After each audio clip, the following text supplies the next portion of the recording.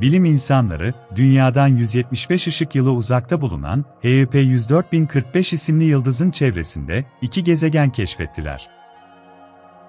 Bu gezegenler Güneş sistemimizdeki Jüpiter ve Neptün'e aşırı benzerlikleriyle merak uyandırdı. São Paulo Üniversitesi bünyesinde çalışmalarını sürdüren bir grup bilim insanı, HEP 104045 olarak adlandırılan bir yıldızın etrafında, Jüpiter ile Neptün'e olağanüstü derecede benzeyen iki gezegen keşfettiler.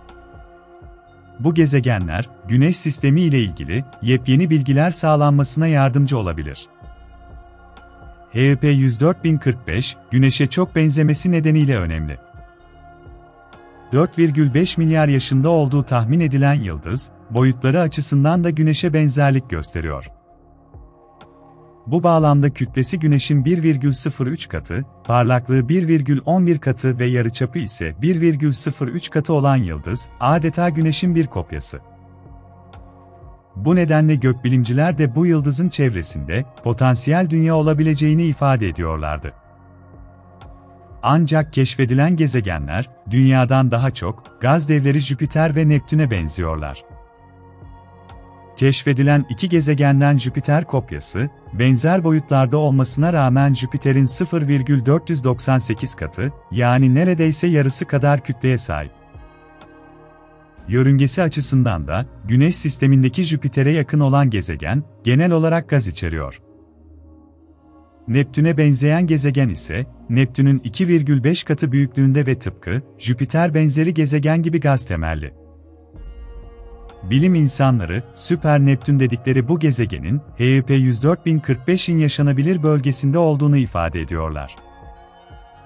Şili'ye yerleştirilmiş olan Alps isimli teleskop ile tespit edilen gezegenler, dünyanın nasıl oluştuğunun anlaşılması konusunda ve Güneş sistemi ile ilgili önemli bilgiler sağlayabilir. Zira uzmanlar, HEP 104045'in çevresinde, dünyanın kopyası olan bir gezegenin daha bulunabileceğini ifade ediyorlar. Diğer gezegenlerde yaşam bulmak söz konusu olduğunda, karmaşık bir kimyasallar çorbasıyla kaynayan sıcak, ıslak bir dünya yeterli olmayabilir. Mahallede doğru türde gezegenlere sahip olmakta işe yarayabilir. Güneş'e çok benzeyen bir yıldızın yörüngesinde dönen, ilginç bir gazdevi çifti bulundu, neredeyse onun ikizi olabilir ve bu bize, bizimki gibi güneş sistemleri hakkında bir iki şey öğretebilir. Sadece 175 ışık yılı uzaklıkta bulunan, HEP 104045 yıldızının etrafında dolaşan, en az iki büyük dünya var gibi görünüyor. Biri 6,3 yıllık yörüngedeki Jüpiter'in kütlesinin yaklaşık yarısı, diğeri ise 316'daki Neptün'ün kütlesinin yaklaşık 2,5 katı. Nihayet ikinci bir dünya bulma umuduyla, Güneş benzeri yıldızların yörüngesinde dönebilen çeşitli sistemleri anlamamıza yardımcı oluyor. Evrende bir biyosfer geliştirdiği bilinen tek yer olarak Dünya, yaşam için gerekli olan koşullar için tek planımızdır. Ancak Dünya tek başına var olmaz, etrafında başka 7 gezegen, sayısız asteroid ve cüce gezegen ve yıldızımız Güneş ile birlikte bütün bir gezegen sistemine sahiptir. Son araştırmalar, bir gezegen sisteminin mimarisinin, Dünya'nın durumundaki bir gezegenin yaşanabilirliğinde önemli bir rol oynadığını göstermektedir. Bir gezegene belirli bileşenleri sağlayabilen asteroidlerin ve kuyruklu yıldızların varlığı oldukça önemlidir. Ayrıca Jüpiter'in önemli bir rol oynadığı görülüyor. Hem asteroid kuşağını hem de yörüngesini paylaşan asteroidleri güderek iç güneş sistemini küçük kayaların sürekli bombardımanından koruyor.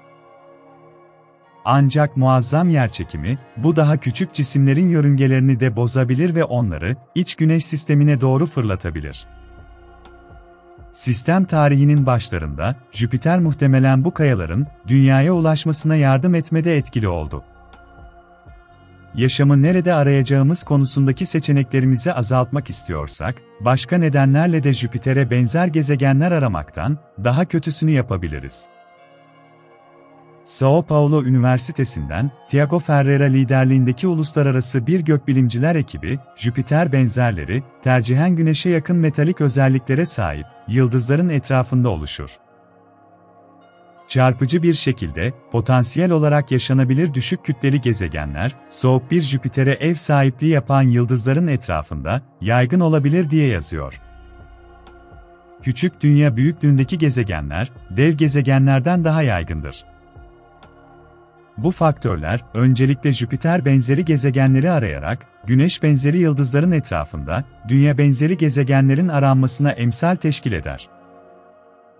2014'ten bu yana gökbilimciler, Avrupa Güney Gözlemevi'nin Şili Atacama Çölü'ndeki La Silla 3,6 metrelik teleskopunda, Güneş'e benzer yıldızların etrafındaki gezegenleri aramak için, yüksek doğruluklu radyal hız gezegen arayıcıyı kullanıyorlar. Kağıt üzerinde, HEP 104045 mükemmele yakın bir eşleşme. Metal içeriği Güneş'inkine çok benzer.